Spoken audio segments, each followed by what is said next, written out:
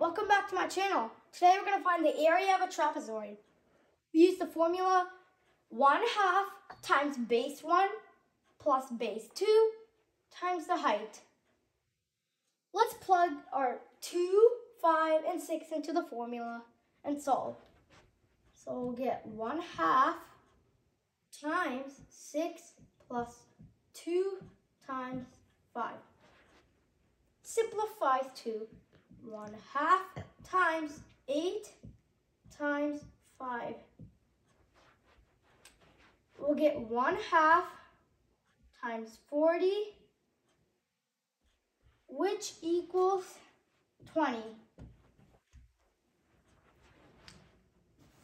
Thank you so much for watching. Please like and subscribe, and I'll see you. Bye.